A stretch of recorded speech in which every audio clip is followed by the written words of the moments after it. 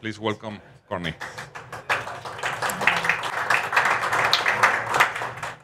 Hello.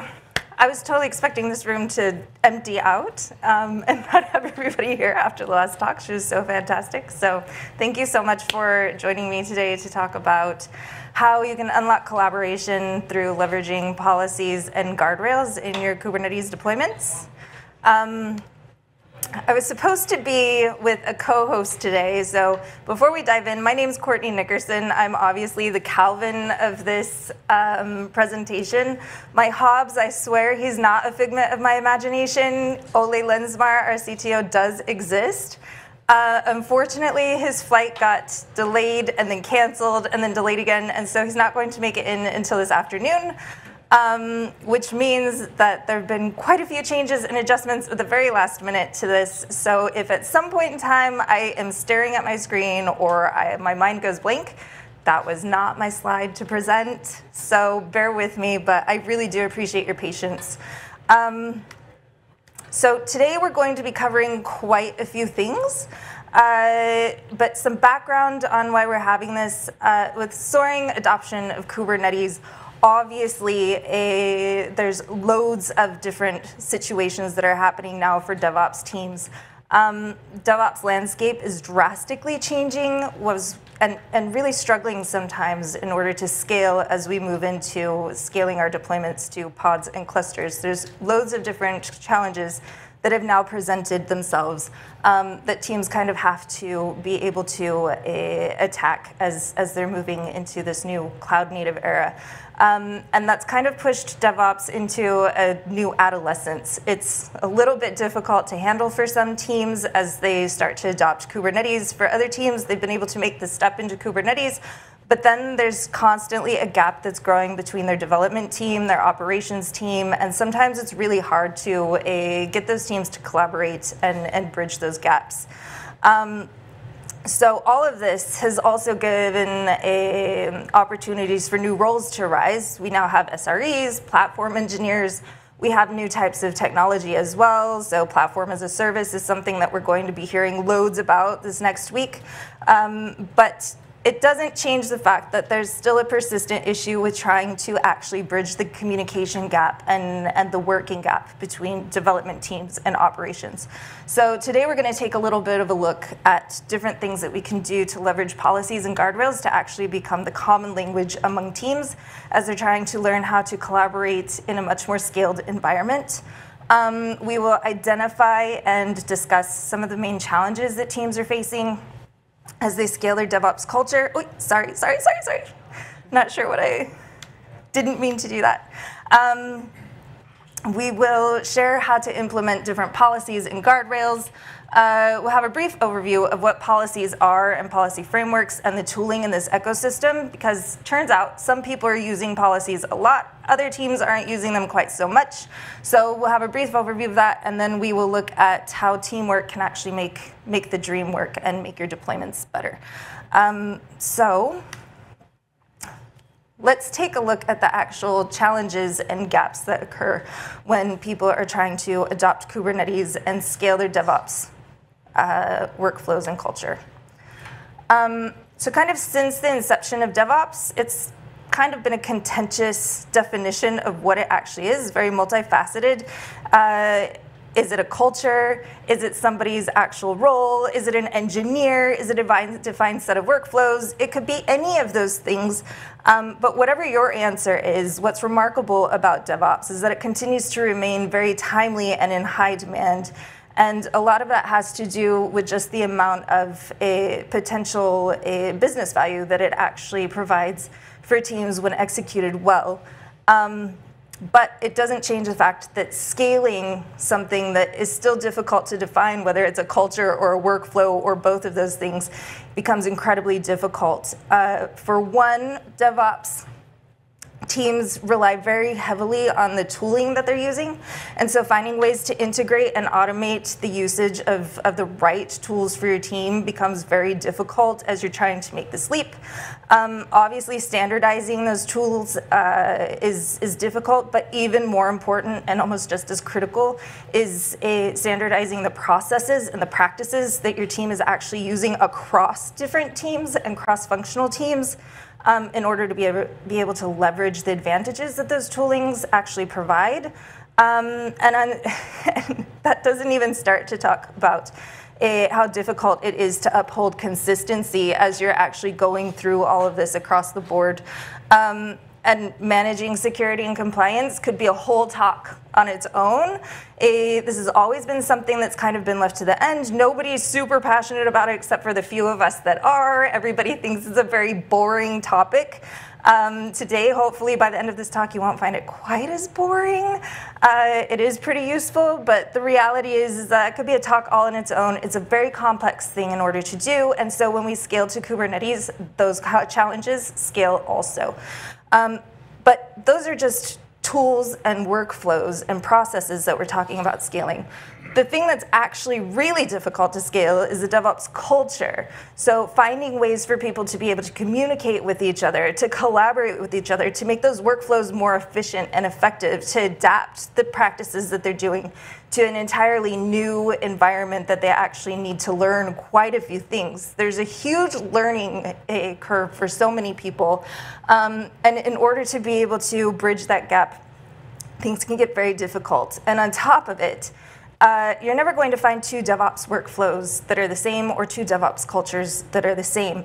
Between the industry changing, the resource constraints, and that could be constraints on budget or human restraints, right? Your human resources, knowledge gaps, not having enough talent uh, on your team, and just not being able to find enough people to, to deal with what you need to deal with.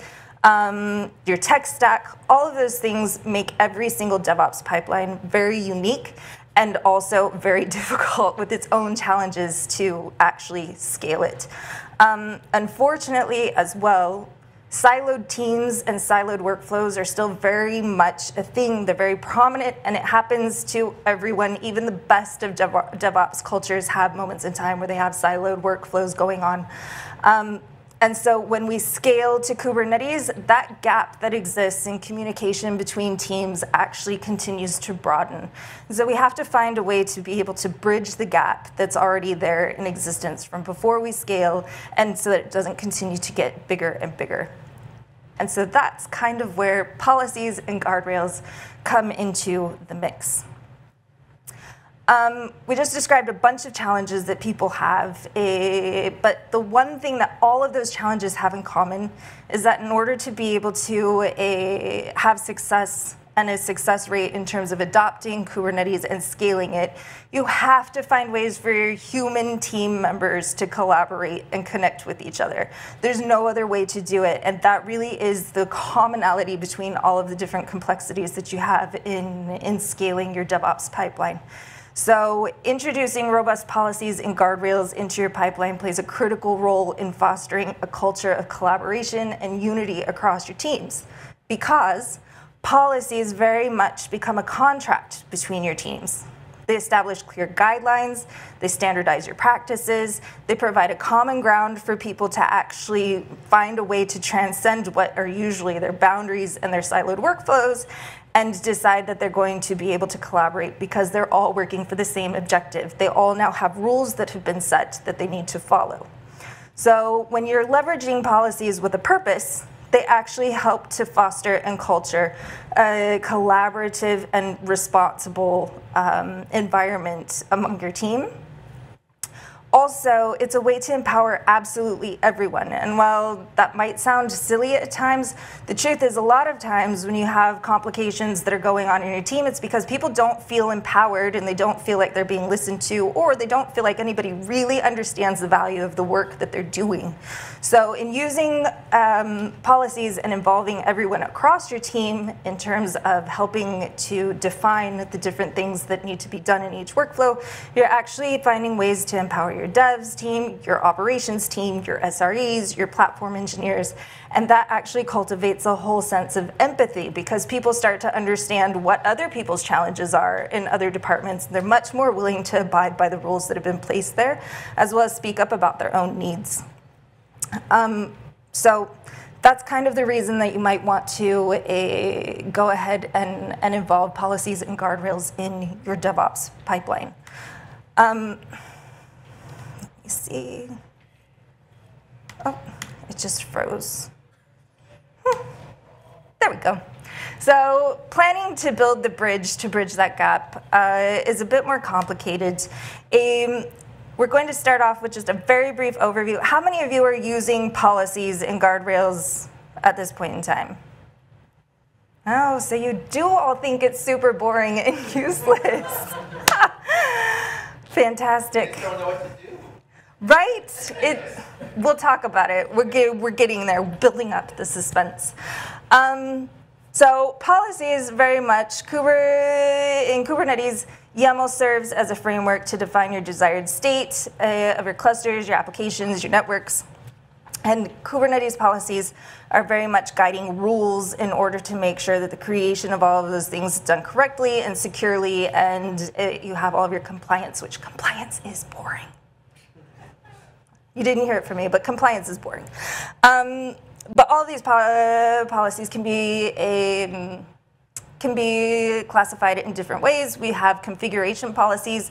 They very much deal with just about anything that you possibly have to configure, from security, resource allocations, best practices, naming conventions, labeling conventions, all of those things. If you need to configure it, you can create a policy for it. And then the other side of policies are runtime policies, and those very much uh, are policies that govern security and access control, um, actually operative in your cluster.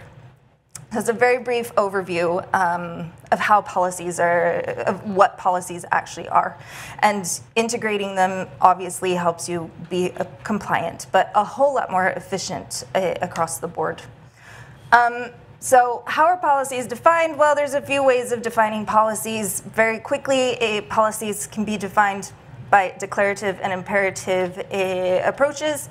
Um, YAML is oftentimes the, the main language, but it doesn't always have to be. Declarative policies, uh, specifically tools like Kyverno, use declarative uh, policies and YAML uh, configurations and based rules in order to enforce your policies in, in your cluster.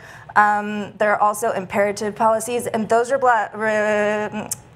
those uh, need other types of languages in order to write them. So anything from YAML to CEL, which is a common, a, a com oh my gosh, common expression language, excuse me, um, and CEL policies have just now been included in the latest version of Kubernetes. So if you haven't started with policies, that's a very good place to start.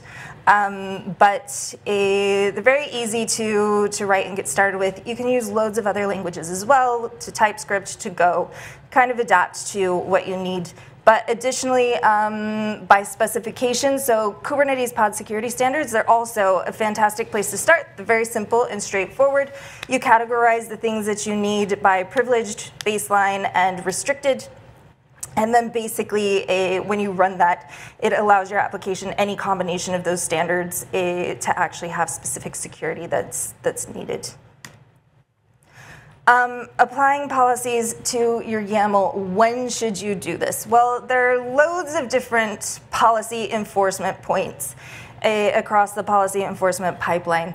You can do this in your pre-commit phase, in a pre-merge phase. You can do it when you deploy, which very much, if any of you are Kyverno or OPA Gatekeeper users, um, that's probably when you're doing it. That's the most common practice. It's fantastic. It serves as a fantastic safety net to make sure to see what has slipped through into your cluster. You can also do it in, in runtime. Um, but whenever you do it, you should be doing this.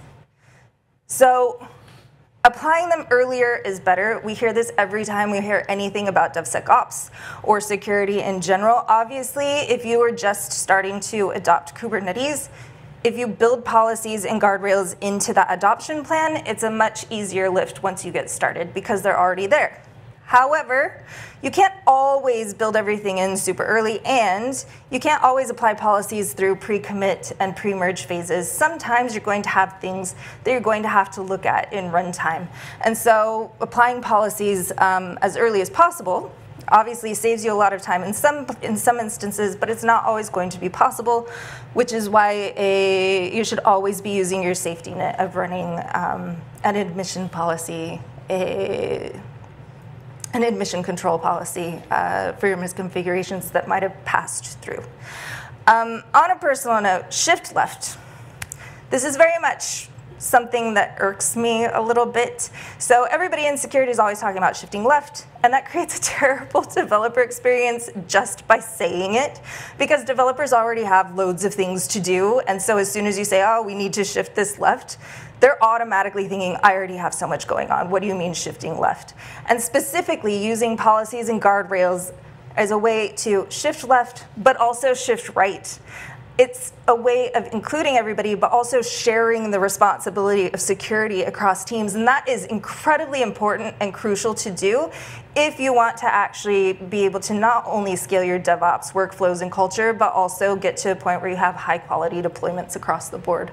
So it's one of those things, communication and culture are key. If you're saying to your dev team, we're going to shift everything left, they're going to stop listening to you. But if you say, we're going to have policies and guardrails in the pre-commit phase, and some of those are going to be for developers, our ops team is also going to be doing these things. Our SRE team is also going to be employing these rules. All of a sudden, the responsibility is shared across the board. It's a much better experience for everyone, and everyone feels seen and included. So also, it's not all about policies, guardrails as well. It's included in the title, so we'll have a quick moment. Um, guardrails are also super important. They're a diverse set of approaches that teams can use to employ and ensure a, the development and the deployment of their, of their applications is actually compliant. And they're very easy to put in when you're talking about scaling things. Um, these approaches include implementation from anything like configuration policies, which we were talking about earlier, to leveraging YAML configuration templating, also using tools like Helm and Kustomize uh, in order to make sure you have an effective management of your, of your configurations. Loads of, is anybody, people here using Helm and Kustomize to package your, great. So those are also ways, uh, especially using dry runs, to be able to see the configurations or misconfigurations of, of your policies. Um, but successful implementation, implementation of these guardrails ensures that there's a cohesive and collaborative approach um, to building and deploying your applications. So building the bridge, teamwork makes the dream work. It's always the case, isn't it? Um, in order to get something done, you need all of your team to, to be on board. It really is a all hands on deck type of thing. However, there are some uh, hands-on things that you can do to get started. So talking about where to get started. Uh, validation, adm, admission validation policies, which are now active in version 128 of Kubernetes, great place to get started. Pod security standards, great place to get started. But even better than that is to take a step back and talk to your team and get everyone involved. Um, that ensures that there's a shared understanding of the actual needs that not just one team has or just the entire workflow has, but that everybody has. A lot of times around policies, it seems really boring. We're back to the boring part. But also, a lot of times it's because teams don't really understand how they're going to be leveraged having a set of rules actually makes the developer experience much better because then they know exactly what to focus on. They know where they should be putting their efforts. They know that they're not going to misconfigure something that then when put into production is going to cause issues and problems for other people because some amount of rule has been established that lets them do their work a lot easier, a lot more efficiently, and with a lot more calm. So getting everyone involved super important so that they all understand the needs, the requirements, um, and the constraints that each different team has. The next thing to do is don't wait, right? So back to the whole, if, if you're adopting Kubernetes, this is something that if you build your policies and guardrails in, you're actually going to be building that bridge to gap, the, uh, to bridge the gap of communication among your teams as you're adopting your policies so that the gap of communication doesn't continue to grow and your bridge doesn't have to be anywhere near as large because you've started to build it sooner. But obviously, there are so many of us here that have already adopted Kubernetes and haven't actually employed policies, which when we asked, we saw very few hands go up. Um, but that's fine. Uh, there are loads of different ways and tools in order to get get started a, in employing a, policies and guardrails. The important thing is to get started. The sooner you get started, even if it's a bit of an effort at first, you're still going to reap the benefits massively in the end. Um, next thing, aim high, but start small. You don't have to do it all at once. Start with something simple that is actually attainable, that different teams can collaborate on, so then everybody sees the value in it. Once they see the value in a small thing, all of a sudden that in itself is a lot easier to scale because people understand why you're doing it. Um, and then Make it something that is interactive among teams. Make your dev teams collaborate with your ops teams to understand the different, the different issues that each one is having. Make your SREs talk to your QA team because how often does that actually happen? But in doing so, you're actually bridging the knowledge gap that happens a lot of times, which actually is what makes your deployments more difficult to handle. It's the reason you have so many misconfigurations to start off with, because people don't always understand what needs to be done. Um, and then finally, desi designate a policy leader. Um, it sounds silly, but the reality is there will be somebody on your team who, like myself, thinks that policy is super exciting and really helpful. So designate that person, talk to your team, find out who they are, and designate them as the policy lead because in doing so, your policies will actually move forward. You'll get to, they will figure out, hey, look, this is a super easy way to implement pod security standards. Let's go ahead and try it. They can talk to different people and they can get that started. Oftentimes it's going to be a platform engineer, but not everybody has a platform engineer to be doing this. So talk to your team, see who's interested, and, and get them started on it. And finally, crossing the policy bridge.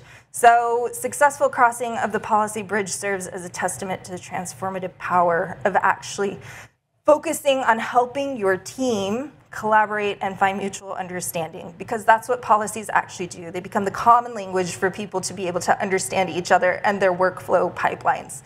So using policies to emphasize shared responsibility, facilitate open communication, actually helps to transcend those siloed workflows that usually happen. Um, it builds empathy within a team, and so the integration of policies and guardrails doesn't just streamline your operations, it doesn't just get you up to compliance or optimize your developer experience. It actually strengthens the human bonds that are going on. It teaches people much more about the environment that they're actually working in so that they can be more successful. And above all, it makes for a much happier and productive DevOps team. So on that note, um, if you'd like to hear more about this or learn about open source tooling that can get you from code to cluster with policy and guardrail implementation, and you're here this week, please stop by our Monokle team booth, P35. I will be there. You'll get to see that Ole is not a figment of my imagination like Hobbes, um, because he will be there as well. Um, and if you're not here at KubeCon this week, or you don't have time because there's so many other things going on, feel free to reach out individually at any point in time and we can have a chat. Thank you.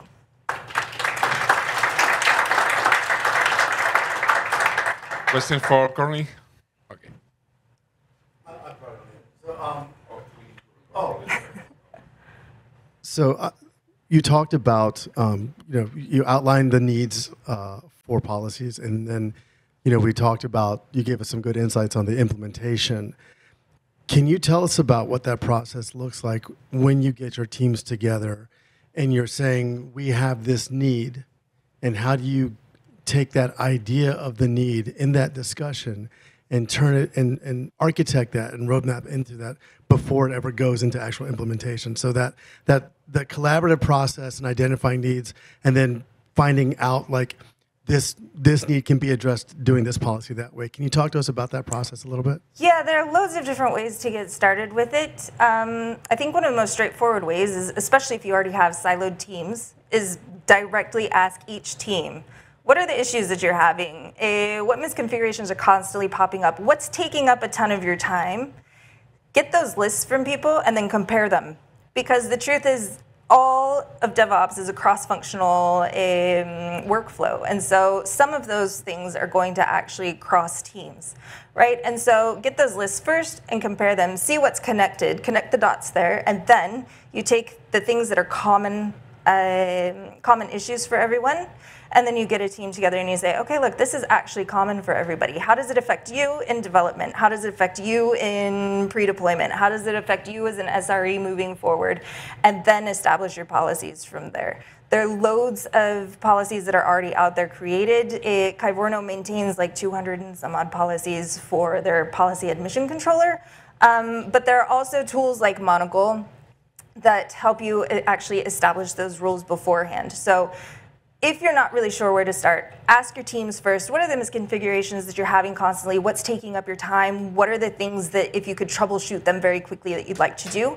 Compare those lists and then get started with creating very simple policies to take that forward first. Okay, any more questions? Okay, then. Thank Great. you so much. Thank you. Be back in five minutes.